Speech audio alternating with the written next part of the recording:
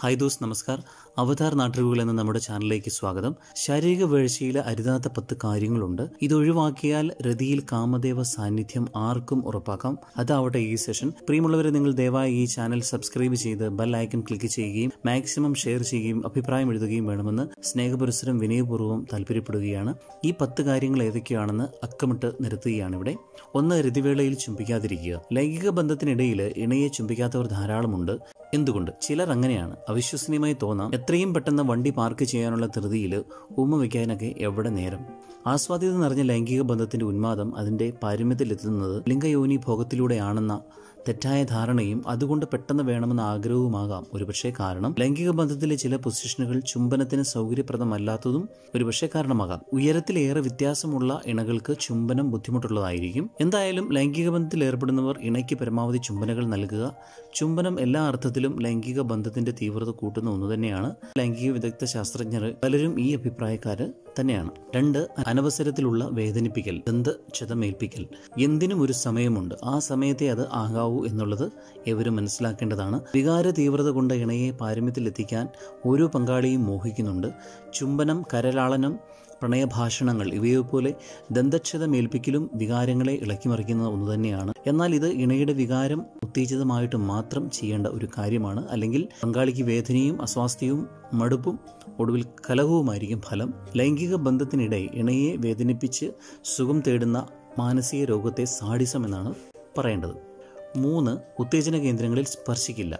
ജനനേന്ദ്രിയം അതിന്റെ പരിസരങ്ങൾ സ്തനമേഖലകൾ സ്തനാഗ്രം ഇവയൊക്കെ ഉശിരൻ ഉത്തേജന കേന്ദ്രങ്ങൾ തന്നെയാണ്. എന്നാൽ ഇണയ്ക്ക് വികാരോത്തേജനം പകരുന്ന മറ്റു കേന്ദ്രങ്ങളും ശരീരത്തിലുണ്ടെന്ന് അറിയുക കാൽമുട്ടുകൾ കൈത്തണ്ടകൾ വയർ പിൻഭാഗം നിതംബം ഇവയെല്ലാമാണ് പ്രചോദന സ്ഥാനങ്ങൾ.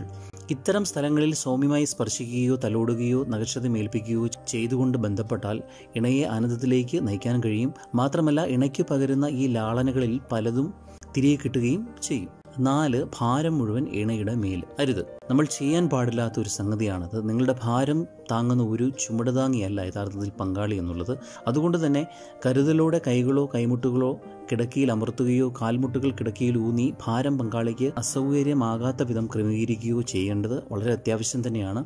ശ്വസനം നഷ്ടപ്പെട്ടാൽ ബന്ധപ്പെടലിന്റെ ആസ്വാദ്യത നഷ്ടമാകും എന്നും കൂടി ഓർക്കുക. ഇണയുടെ സഹകരണത്തിന് അത് തടസ്സം നിൽക്കുകയും ചെയ്യും. അഞ്ച് സ്കലനം ഒന്നെങ്കിൽ നേരത്തെ അല്ലെങ്കിൽ വളരെ വൈകി.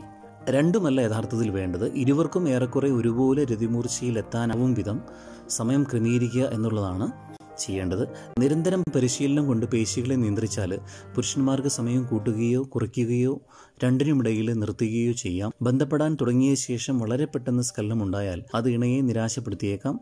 വളരെ വൈകിപ്പോയാൽ ഒരുപക്ഷെ ബന്ധപ്പെടൽ ഇണയ്ക്ക് വിരസമായും അനുഭവപ്പെടാവുന്നതാണ്. ആവുന്നത്ര സമയം ബാഹ്യലീലകളുമായി കഴിച്ചുകൂട്ടുകയും ഒടുവിൽ ബന്ധപ്പെടുകയും ചെയ്താൽ ഈ പ്രശ്നം സമ്പൂർണമായി പരിഹരിക്കാവുന്നതാണ്. ആറ് സ്വന്തം കാര്യം കഴിയുമ്പോൾ തിരിഞ്ഞു കിടന്നുറങ്ങുക. ഇണയോട് കാണിക്കാവുന്ന ഏറ്റവും വലിയ അവഗണനയാണിത്. ഇണ പൂർണ സംതൃപ്തി ആഗ്രഹിക്കുന്നുവെങ്കിൽ ആ ആഗ്രഹം നിറവേറ്റാനുള്ള കടമ പങ്കാളിക്കുണ്ട്.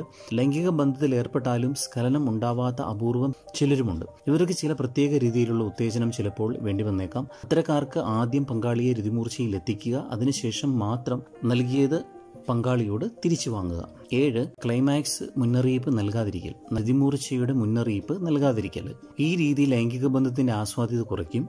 സ്വാഭാവിക ബന്ധപ്പെടൽ സമീപനത്തിലും കാമലീലകളിലും ഒരു കാര്യം ശ്രദ്ധിക്കേണ്ടതുണ്ട്. രതിമൂർച്ച സമീപിക്കുമ്പോൾ അതേക്കുറിച്ച് പങ്കാളിയോട് മുന്നറിയിപ്പ് നൽകുക. വികാരമൂർച്ച പ്രകടിപ്പിക്കുന്ന പ്രത്യേകതരം ശബ്ദങ്ങൾ ആലിംഗനങ്ങൾ ചുംബനങ്ങൾ ഇവ കൊണ്ടൊക്കെ സൂചന നൽകാവുന്നതാണ്. അല്ലെങ്കിൽ രതിമൂർച്ചയിലേക്ക് എത്തുന്നു എന്ന വാക്കുകളിലൂടെ സൂചന നൽകാൻ ശ്രമിക്കുക. വളരെ വ്യത്യസ്ത തലത്തിലേക്ക് എത്തിക്കുന്ന ഒരു നടപടിയാകും ഇത്. എട്ട് വൈവിധ്യത്തിന് എതിര് നിൽക്കുക. ലൈംഗികതയിലെ ഇഷ്ടങ്ങളും അനിഷ്ടങ്ങളും വ്യക്തിഗതമാണ്. സാമൂഹ്യ സ്ഥിതി കുടുംബ പശ്ചാത്തലം ഇവയൊക്കെ ലൈംഗികതയിലെ സ്വാധീനം ചെലുത്തുകയും ചെയ്യും. വിചിത്രമായ രീതികളിൽ ലൈംഗിക സംതൃപ്തി കണ്ടെത്തുന്ന ധാരാളം പേർ പുതിയ സമൂഹത്തിലുണ്ട്. മുൻപ് ഉണ്ടായിരുന്നതിന് നിങ്ങൾക്ക് വിചിത്രമുള്ള ലൈംഗിക രീതികളും സങ്കല്പങ്ങളും ഉണ്ടെങ്കിൽ നിർബന്ധമായും അക്കാര്യം പങ്കാളിയെ നേരത്തെ അറിയിച്ചിരിക്കണം. അസ്വാഭാവികമായ രീതിയിൽ ഇഷ്ടപ്പെടുന്ന ഒരാൾ ആദ്യ ദിവസം ഭാര്യയെ അതിന് പ്രേരിപ്പിച്ചാൽ ആഗ്രഹിക്കുന്ന പ്രതികരണമാവില്ല ലഭിക്കുക.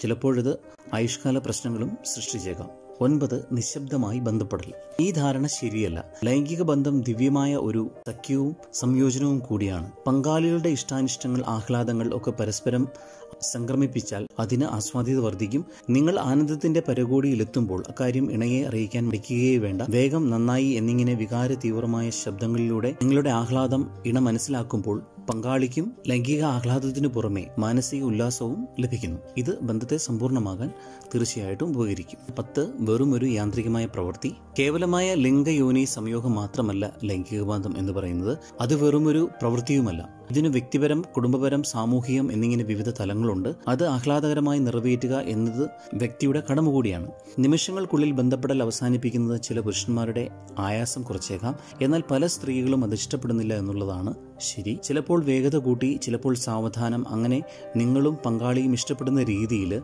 അഡ്ജസ്റ്റ് ചെയ്യുക എന്നുള്ളതാണ് വേണ്ടത്. ശാരീരിക ശേഷി കൂട്ടാനും തെളിയിക്കാനുമുള്ള സ്ഥലം അല്ല അല്ലെങ്കിൽ കായിക മേളയല്ല കിടപ്പറ എന്ന് മനസ്സിലാക്കുക മനസ്സിൽ വെക്കുക. അപ്പോൾ ഈ സെഷൻ ഏവർക്കും ഉപകാരപ്പെടുമെന്ന് കരുതുന്നു.